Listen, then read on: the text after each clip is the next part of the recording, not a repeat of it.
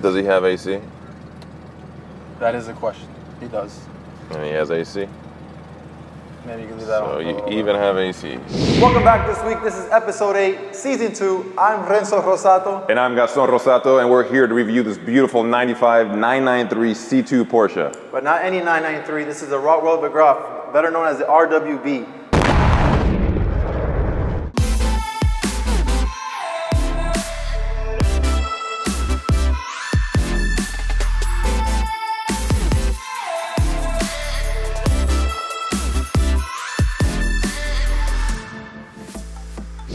We want to know what is RWB?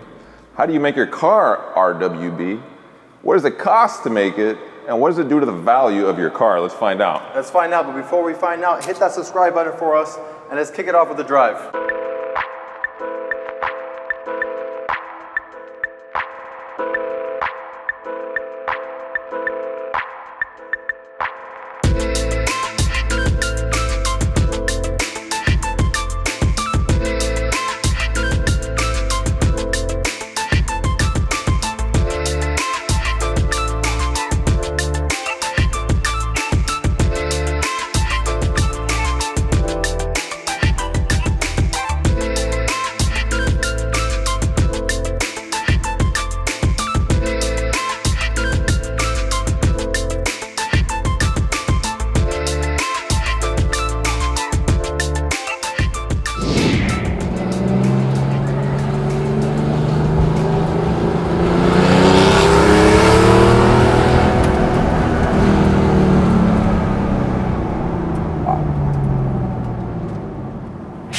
Right, so we're sitting on Sparco buckets. Right, that were rear upholstered uh, with the houndtooth design, Yeah. with the gold, black, and white to go along with the car. Which is a tribute to the old race cars that use these type of upholsteries in the tan color, which is the original to the car.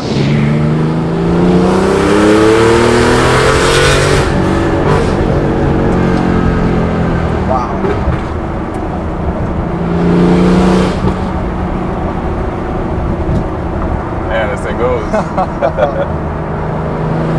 this has a nice power delivery, very smooth, Wow. very smooth.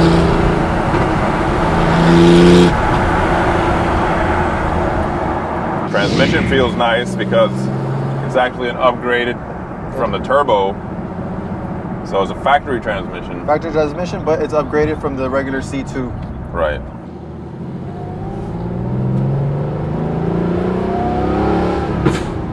Nice.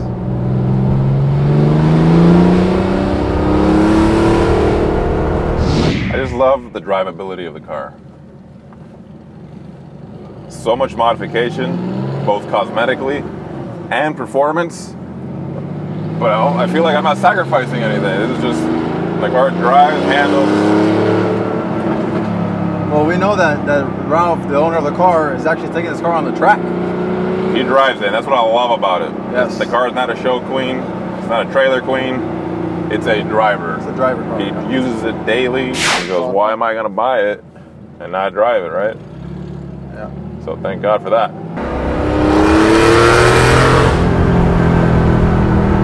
Want to switch? Yeah, I got I gotta drive this car. All right, he raise up.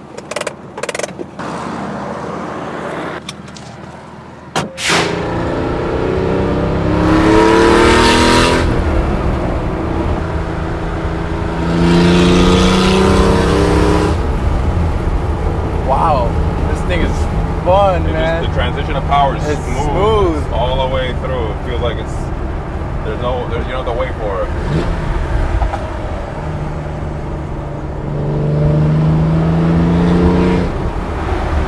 oh my god, this thing is amazing.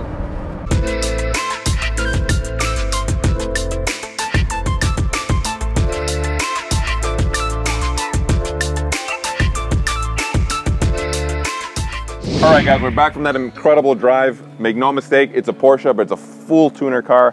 The car was purchased by Ralph with the idea to make it an RWB. It had to be white. He sourced the right car, said, I want to make it RWB. That's right. Let's do it. Put the money on the table.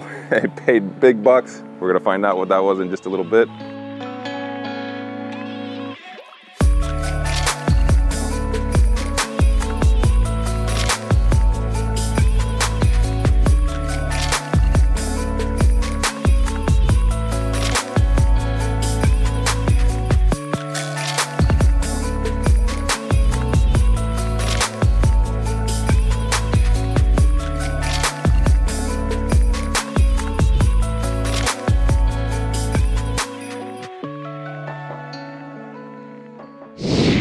RWB is from the founder Akira Nakai, and he's a Japanese tuner. He focuses on the body, the suspension, and that's about it. So it's all cosmetic. It's not just cosmetic work, because he does do some suspension adjustments if you like. It's a very personalized thing. Yeah. He likes to sit down with the owners a lot of times and talk about what they want and what they need. Yeah, it's my understanding he's an artist. He's I mean, he's a 100% master artist. builder. All by eye, he shows up with one little briefcase. All right, by the way, guys, this is Miami build number three. That's right, and he actually names all his builds. This one's called the Yuki No Hana, which means snow flower. Let's talk about some of the mods, Renzo. Let's, it. let's walk forward and and understand what this build is all about. These are 1552 Outlaw wheels. But even more importantly, these were the first set to ever be built with the concave design. These tires, Yeah. okay?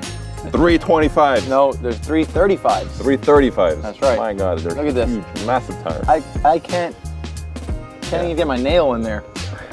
That's insane. So when we're here already, you're gonna notice that the brakes are updated. These are Sparta brakes, which is, I think, needed for the amount of horsepower this car is producing. Which is how much? 370 horsepower to the wheel. And that's produced by what? That is produced by the supercharger that it has on it. Factory 3.6 flat six with a supercharger. Unbelievable. Moving on to the, the build, of course, fenders, tail, bumpers, Skirts. side skirts, quarter panel, all that is part of the build. So the tail you mentioned is a duck tail, and that's actually the owner got that afterwards. He had originally gotten the GT2 tails that you usually see on a lot of these Yeah, they're more aggressive, They're larger. He liked the clean look. Yeah, which I think is a great touch to the car. Also, aftermarket aluminum front lid. Yes. All right, the bonnet is aluminum. Signed by Magnus Walker. Pretty cool touch there as well. This bottom lip, I always wonder, they're so low, how do you get around? Yes. Well, it's just a rubber piece that folds real nice. That reads something in German here. You Which- guys can give it a shot, but I'm gonna tell you what it means.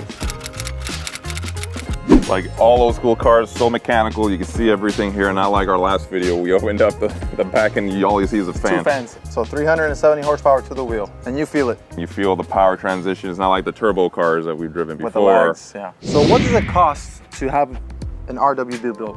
What does it cost, guys? You want to say, I want RWB. Well, first of all, what do you got to do to do it, right? Exactly. You got to reach out, usually through an associated shop, friend, or you can go to the website directly and coordinate that with him. But again, two year wait, and You pay up front. so this car is about three years old. All right, back then it was $20,000. They will ship over the pieces to you, the side skirts, the fenders, the bumpers, but they weren't painted. No, they were just bare. You had to get it painted to the color of your car. So when he arrived, he was able to start the work. Exactly. So back then it was $20,000. Allegedly now it's gone up a little bit. Exactly. It's not just the money, guys. It's the time you have to wait, plus all the modifications you got to do to the car, right? Because um, we're not including tires, suspension, engine work, Supercharged engine. all the other personable items that you want to add to it. Gaston, so how does this build, this RW build, affect the value of this car? So that's a very important question, right? Because when you mod a car, usually the price comes down, especially if you're cutting into original fenders and things like that. Then there's the other side of it.